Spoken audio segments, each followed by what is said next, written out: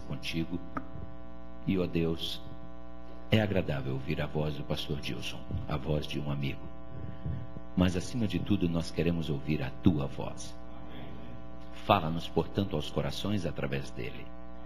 E que nós não pensemos que o que está sendo dito é endereçado ao nosso vizinho, à nossa frente, atrás de nós, ou à direita ou à esquerda, mas para cada um de nós. E que nós saímos daqui com essa convicção de que tu falastes aos nossos corações, que o teu Espírito nos dê humildade para reconhecer onde precisamos mudar e nos dê o poder para fazê-lo. Em nome de Jesus. Amém.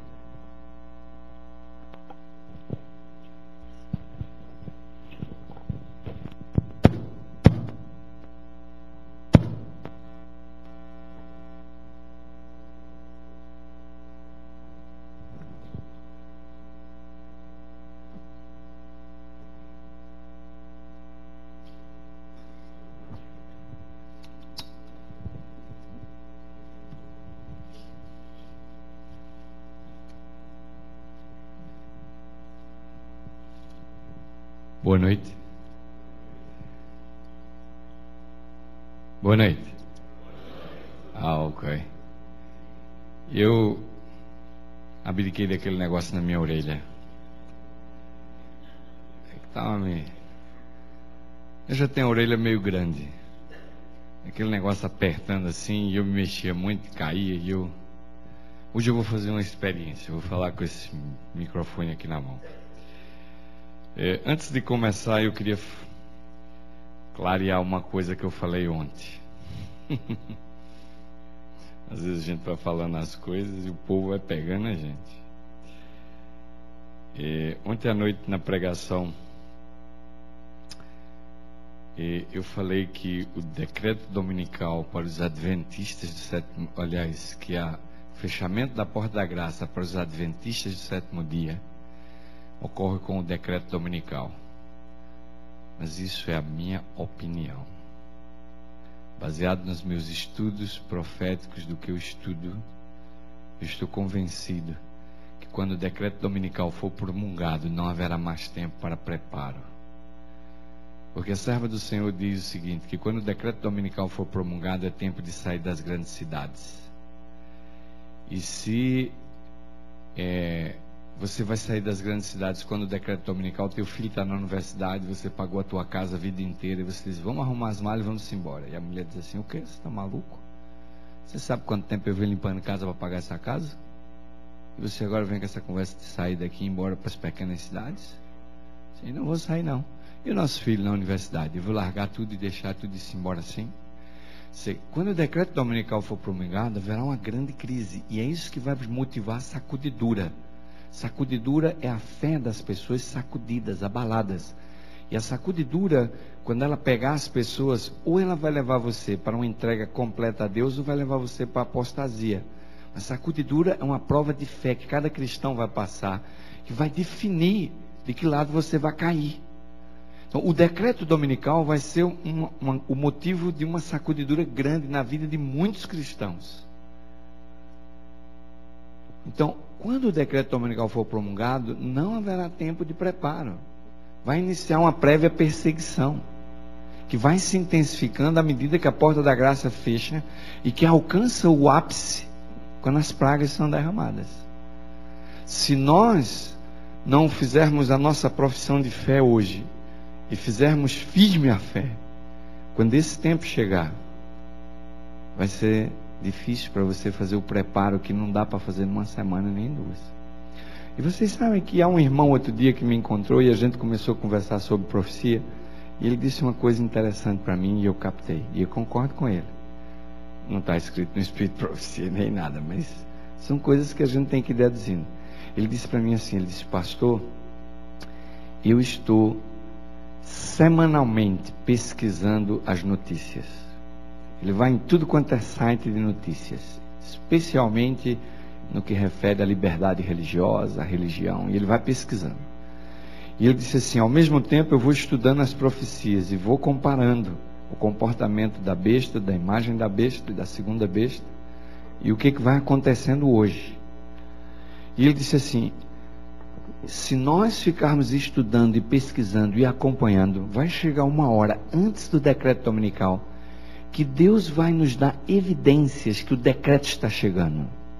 E você ainda vai ter tempo de vender a sua casa, de vender tudo que você tem e pegar esse dinheiro e ter uma provisão para fugir para as pequenas cidades. Você ainda vai ter recursos para usar indo para as pequenas cidades. Entretanto, se você não vai acompanhando, quando o decreto dominical chegar, algumas providências que você podia tomar, vai ser tarde demais para você tomar. E algumas delas você vai ter que fugir com a roupa do couro. Então vai ser preciso muita fé. Então é baseado nesse contexto que eu creio que quando o decreto dominical for promulgado, para mim é muito tarde, para qualquer pessoa que não fez o preparo devido, fazer o preparo dali para frente. Certo? Eu não sou o dono da verdade. Então, eu apenas esqueci de dizer ontem que essa é apenas minha conclusão estudando os eventos proféticos. Mas isso não quer necessariamente dizer que eu estou certo ou que eu estou errado. Bem, agora vai começar o sermão de hoje. eu quero iniciar a mensagem de hoje dando uma saudação muito especial às pessoas que estão me assistindo naquela câmara ali, certo? Ou naquela ali, é tanta câmara aqui que eu não sei. naquela câmara que está lá em cima, então. Nós temos pessoas de vários lugares do mundo assistindo essa semana.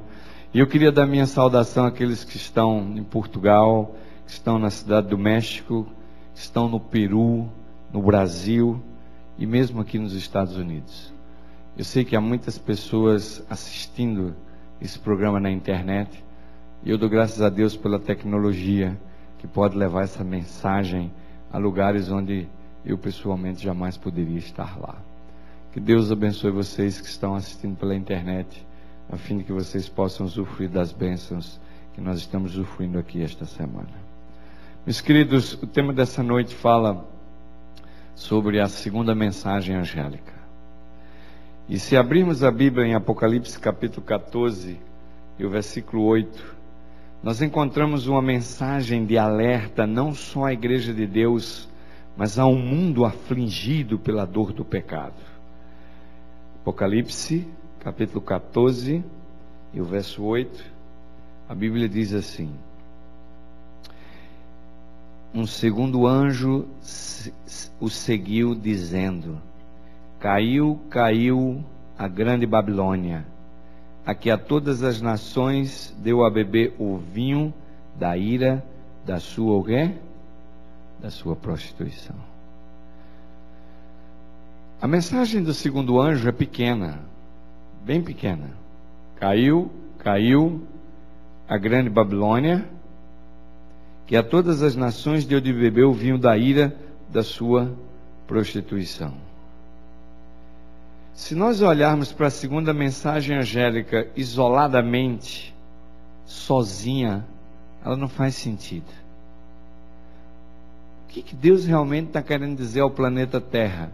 Quando o profeta viu o segundo anjo voando pelo meio do céu, e nesse voo pelo meio do céu, ele gritava: Caiu, caiu a grande Babilônia, certo? Caiu, caiu a grande Babilônia, aquela que tem dado o vinho da ira da sua prostituição a todas as nações. Que realmente Deus estava querendo falar quando disse isso. Se a gente olhar o texto isolado, parece que a mensagem não faz sentido. Ah, o, o vinho da ira da sua prostituição. Babilônia. Para que a gente possa entender a segunda mensagem angélica, nós precisamos olhar para a primeira. Porque a primeira mensagem angélica é um chamado para viver o Evangelho e pregar o Evangelho, porque o juízo é chegado. E a segunda mensagem angélica mostra a condição do mundo que nós vamos pregar esse evangelho. É por isso que há uma conexão entre a segunda e a primeira. E a terceira mensagem mostra as consequências de quem não atentar para a primeira mensagem. Existe uma, uma conexão profunda entre os três anjos. O primeiro é a mensagem, o segundo é quem vai receber a mensagem, e o terceiro é o que vai acontecer com quem rejeitar a mensagem. Em síntese, nós temos aí as três mensagens angélicas. Para que a gente possa realmente ter uma compreensão plena é,